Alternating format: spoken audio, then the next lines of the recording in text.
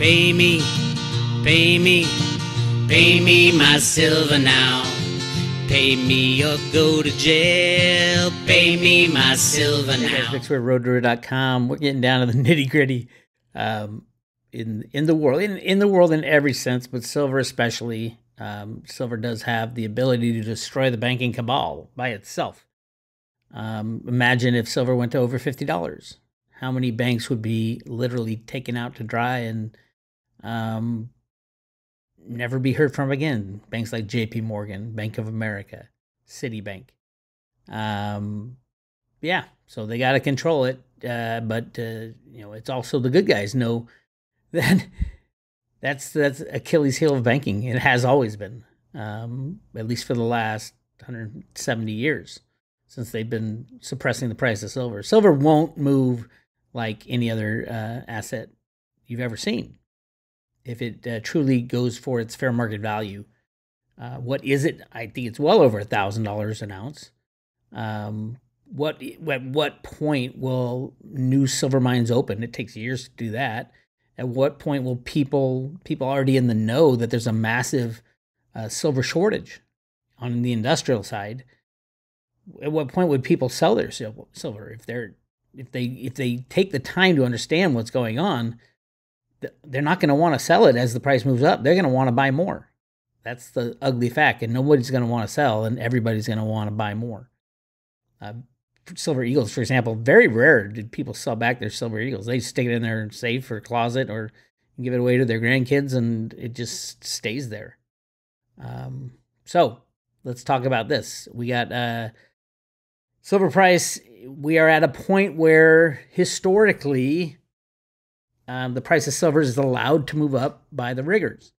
We are at a point where the commercials have gotten rid of as many of their shorts as they possibly can. From the other side, the uh, you know if you look at the commitment of traders report, just this last reporting week, which ended last Tuesday, uh, they dumped about 30 million ounces of their short position, and they were able to do that because the managed money um, actually wasn't managed money. Yeah, it's managed money put on six that 30 million ounces of new longs or new shorts, but also subtracted 30 million ounces from their longs. This is this is one of the best setups you can find for silver as of last Wednesday. Um, and then there's a couple over here in other reportables and non-reportables that could be Elon Musk, could be uh, you, know, you name it, BlackRock shorting. It could be anything. Those like the entities that can do a lot of stuff, but they don't officially have to report. Um, so yeah, great setup for that. And the other great setup is this, the obvious one. These are the moving averages. You know, Ted Butler's been screaming about this every single time it works the same way. When it crosses over the moving averages, all these people who just went short, all these managed money traders, the tech traders who just went short when the price dropped down, have to cover those shorts. And that's buying pressure. And that's what makes these big jumps like happened here in March to uh, March to April, just exploded higher. And then up here at these numbers, the, the banks, the commercials short the, the price again to slow down the rise, and then they try to slam it again. So that's where we are. We are at that point, the same exact point that the CFTC refuses to look at. It's the point where all of a sudden this changes. Last week, last reporting week, this changed massively. Right here, uh, 23 and 36, right here. That's uh, that would be 6,000 contracts times five, 30 million ounces that these criminal shorting entities were able to get out of. And the managed money right here in the shorts, they added the shorts that the that the commercials sold. So and then they sold 6,000, which is crazy. I don't know why they did that. Why would they sell 6,000 at the longs in silver, especially? Because you're not going to be able to buy it back unless it's BlackRock in there. BlackRock could be anywhere. BlackRock is one of the big riggers of silver. Uh, a guy named Evy Hambro runs their silver rigging program. Uh, Jamie Dimon of JP Morgan is also in there, although they have to do it through their customers until Monday. Until next Monday, the 25th is when JP Morgan gets out of their deferred prosecution agreement from the DOJ. unless the DOJ files suit, charges JP Morgan one more time with something related to rigging the markets. There's plenty to charge him for, mind you, but the CFTC has, the SEC has, it's up to the DOJ. If they find one more thing before Monday, then the deferred prosecution agreement is over. The settlement is thrown out. Their gold, silver, and uh, treasury settlement is thrown out. All they need is one more thing where they defied the law and the, and that whole agreement goes away and they can go after him for RICO charges again. So it is a big time. Now the odds of the DOJ doing that it would destroy the world. It would be pressing that button that Dick Allgeier said, "Hey, somebody needs to press the button." Um, because you take out J.P. Morgan, the largest bank derivative holder in the United States, so I think it's close to 60 trillion in derivatives that we know of. Um, good night every bank's gone. Your 401k is gone. Your stock account, your your savings account, your checking account. There is no recovery from that. So it's a big deal if they press that button. Um, but again, silver, same old game, same players, uh, same incompetent regulators. They're not incompetent. They know what's about to happen. J.P. Morgan has one of their people on the on the CFTC board. One of the commissioners is ex JP Morgan, one's ex Citibank. Same with the person in charge of the OCC numbers, the Office of Comptroller of Currency numbers on derivatives, is a JP Morgan guy also. That's how the game is played. And the only thing you can do is stay out of the way as this thing blows. I don't know if they're going to set the price of silver to minus $40 or it's going to hit a million dollars before they can do that. I don't know. But something is coming. Something wicked this way comes. Um, Again, if you guys watched, I did a private road discussion about what I think is going on at the Mint. We will know in the next two weeks, three weeks, whether or not the Mint has uh, decided to follow the law or not. If the answer is not, then we will know in the next couple weeks if they stop making Silver Eagles, and then you're going to see premiums jump up again to 80, 90%. If they stop making Eagles for the last you know two and a half, three months of the year. Why would they do that? Well, maybe something big is coming. Silver Eagles are not anything like a regular ounce of silver. It is the constitutional money of the United States of America. And there is technology now to identify every single silver eagle that was made since what 1987 86 i think the law was passed in 86 and the first coins were 87 can't quite remember but we have the ability now to identify, scan and identify every single legitimate Silver Eagle made and put them on a blockchain. And so they could use be used as money, as our constitutional money. And that's through Honeywell has a um, a an ability to take coins so here, let me show you where they they can do either uh, currency or coin. Uh, doesn't matter whether the transaction is taking place in a large central bank, an office, or across the counter of a corner market. People need to know the banknotes and coins they are using are the real thing, backed by the full faith and confidence of the issuing government. Counterfeiters today take have more tricks up their sleeves than ever before but you can stay steps ahead of the forgers by choosing Honeywell Secure Lock and Key Solutions as the backbone of effective anti counterfeiting program. So, what it does, it scans the coin and looks at the crystalline structure of that silver coin, takes a picture of that, and then applies a number, a code, a blockchain position to that actual structure and there you got have a coin that's completely identified as the single one ounce coin made by the US Mint. That's the future. How'd I get to this? Understanding this guy, David Ryder.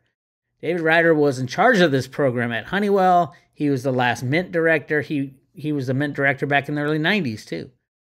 Each time David Ryder was fired by one of the deep pedo cabal. The first instance, it was Bill Clinton. The second instance, it was Joe Biden. They don't want this. They want they want their their, their crypto solution, their XRP solution. But I, I think the good guys are going to win this. Lots going on in the banking situation right now. Jamie Dimon is freaking out because the House financial hearing. Uh, here's here's a report from Wall Street on Parade. Lobbyists grab control at House Financial Services hearings, backing Jamie Dimon's push to gut higher capital proposals.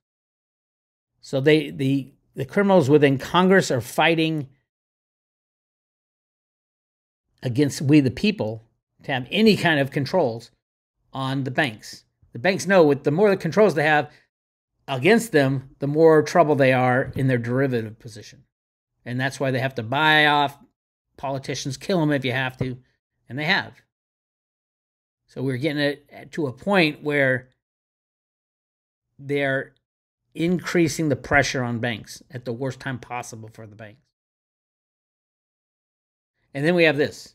The kitchen sink is McCarthy's only path to avoid a shutdown. It probably won't work. We're going into a shutdown in the United States of America. You might say, who cares? So what?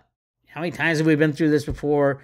They shut down for a little bit and then everything opens up. Unless you have a problem with the banking system at the exact same time. Unless you have a problem with the gold and silver market at the exact same time. Unless you have a problem with uh, China, China invading Taiwan at the exact same time. It could be all of the above. And then maybe they'll even set off a few natural disasters like they did in Maui. So, yep, it does look like Congress is finally going to say, you know, that's it. That's enough. We're done funding this, the deep state cabal. Uh, Biden will be, there won't be an election. Mark my words. There will not be an election. At least nothing like we think there's going to be. Um, and I mean, if things kept going like this, the, the Democrats have said they're not going to allow any debates. What? They're trying to put Trump in jail so he can't run for office. It's the whole thing is insane, but it's what we're living through. There won't be a, a regular election. And you notice that they haven't fixed anything of the problems that everybody complained about. No matter who lost the election, they always complained that it was rigged. Hillary Clinton complained it was rigged. Trump complained it was rigged all the way back since the beginning of time, people have been claiming it's rigged, but they never want to change it. They never want to fix it. The U.S. Postal Service has a patent on a blockchain voting thing that would end all this criminality, and yet it came out in 2016. Yet nobody wanted to implement it then, and have not implemented it since. That's crazy. It's crazy. All right. I just got done with an hour long discussion about silver with Jenny Moonstone for her uh, Patreon channel. Uh, she has an amazing channel of her does her readings has a lot of customer interaction if you you can ask her questions for the silver group she has a silver group so her her uh, actual patreon is at uh, it's jenny moonstone patreon it's only 17 bucks a month and then the vip is 25 bucks a month. And then the silver knights collective is a handful of silver guys over there um, that we do monthly. She she does a lot of readings on silver. If you're interested in silver, she's done fucking amazing things for the road to Roota people, especially when it comes to understanding that the the child trafficking issue and the silver issue are going to be fixed at the same not fixed be exposed at the same time and we're seeing that right now for example jamie dimon is knee deep in it's being exposed that the jamie dimon and the board of jp morgan did a lot more than just, you know, fund Jeffrey Epstein a little bit. They were the only funder of Epstein, which makes them accomplices to the crimes of thousands of children who were abused and continue to be abused in that arena that's still going on. How many more um, instances is JP Morgan funding?